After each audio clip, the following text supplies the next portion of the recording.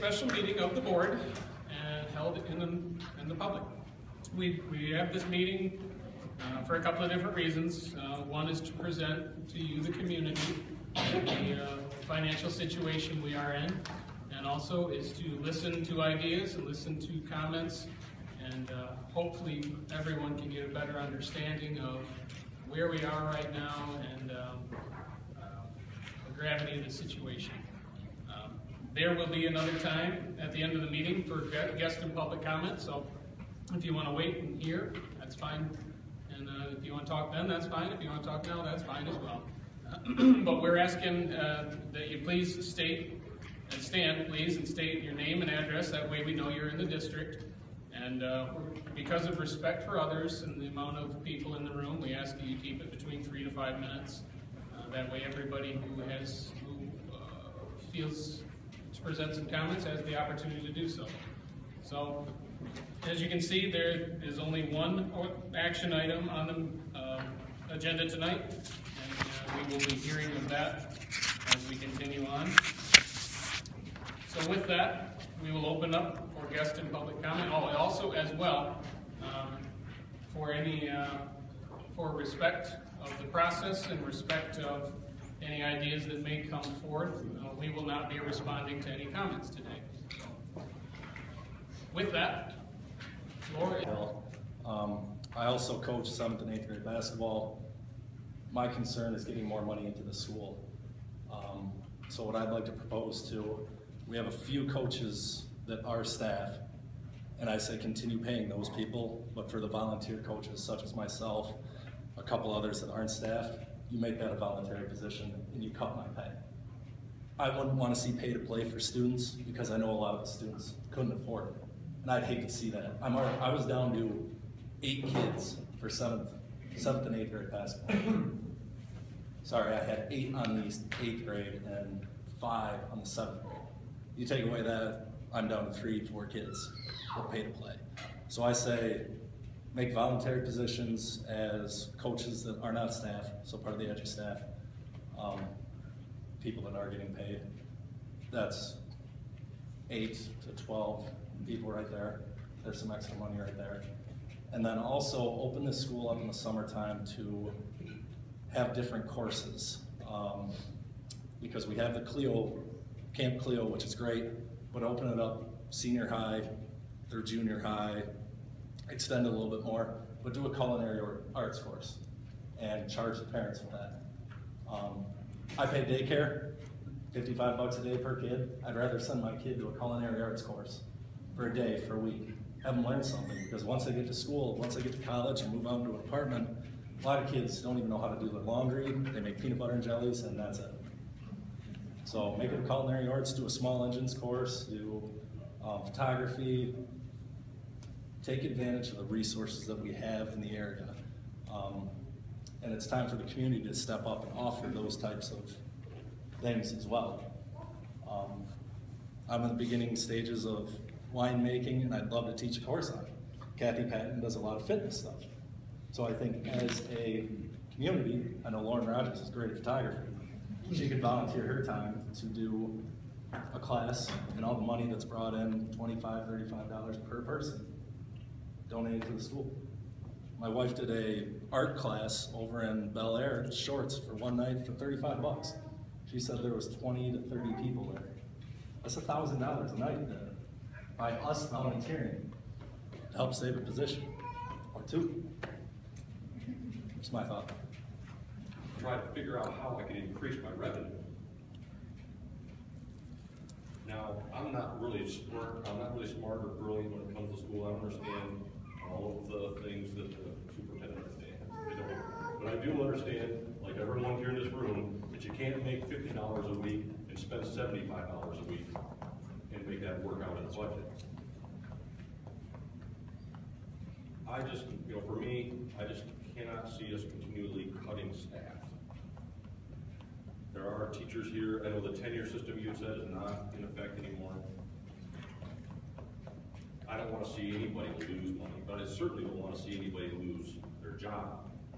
Especially when we've already cut so much already, we've already surrendered so much of the student. And so, I think that maybe I'm not offering a lot of ideas, but I agree with everyone in the room that's saying we need to just figure out how to to get more money. Part of it is cutting costs. But I think that's kind of the easy, that's the easy way. Know, that's kind of an easy, just solution, just eliminate somebody there, there's some money. But My niece, uh, Megan King, um, really benefited from Mrs. Hoover's influence, and I appreciate that. And, um, but I also know that being on the school board, uh, a school isn't a business. We're not able to just generate, or, uh, if it was a business and we were not doing good, we'd be creative and sell something cheap, but that's not the way we can do it, and our teachers are our biggest asset, so I'm, I just feel that this, no, I don't think it helps anything, but I think this is a problem that's, that is not just a Central Lakes problem. Um, Teachers are under the spotlight and, um, uh, paying for education is not, uh, popular right now, and I think that, uh, Central Lake is, and all the small schools are suffering from that. I think the school board's done their job and done the best they have been able to do. for her position to be cut, and as, um, someone that's spent a lot of time with her as a student, I just want to inform the people that are making that decision how much she does for our school. She does so much for the elementary school and the high school, and goes above and beyond what she has to do.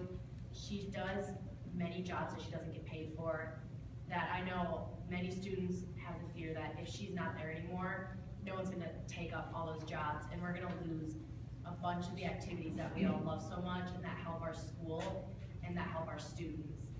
And also, she not only does those jobs, but she goes out of her way to find the students that aren't involved in those, and just make sure they're okay, and make sure that if they need any help, they get that help. So, I just want to encourage while the decision is being made, to not only look at the job that she's being paid for, but also all the stuff that she doesn't get paid for.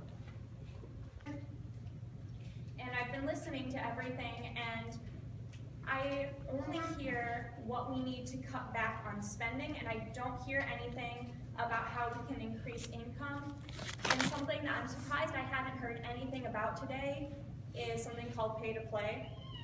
I attended a different school, the same class as our school, that did pay to play all through, I was in um, volleyball, basketball, track, everything, from middle school to my freshman year at this school. And it was alleviating when I came here to be able to not have to pay for it.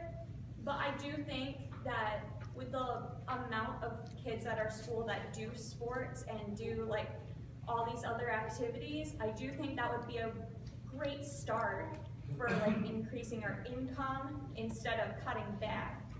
So. Thank you so much. Only again about, um, my position, um, I shared some information with you last week on the things that I do, um, in the district. Um, hopefully to make a difference with, with students and, um, in capacity um, whether it be leadership opportunities, guidance, whatever, whatever it might be.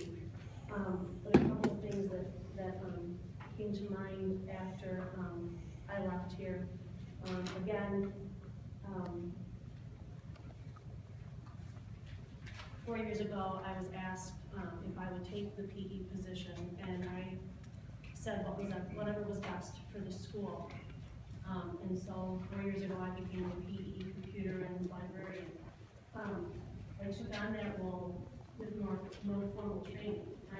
I'm not a PE teacher, I'm not a computers teacher, I'm an elementary certified teacher and a science certified teacher. Um, I created the curriculum, um, for computers based on the state standards, because there wasn't one, and that's what, um, was just shared with you. Program that I put together, um, to make sure that our students were getting a good education and, and, and the opportunity to learn, on to a few schools that offer that, which quite frankly, um, I think is pretty awesome that our kids are, you know, functioning, especially with, um, M-STEP and so many of our kids having to take tests on computers starting in third grade from the state. They have some access and exposure, um, to that. Um, and we talk about the evaluations and, and such, and, um, I am highly effective. Um, where I rank in, in, in the numbers, um, again, I wanna go back to the fact that I'm teaching something I wasn't certified to teach, but yet my scores have continually gone up teaching, um, PE and computers and being highly effective.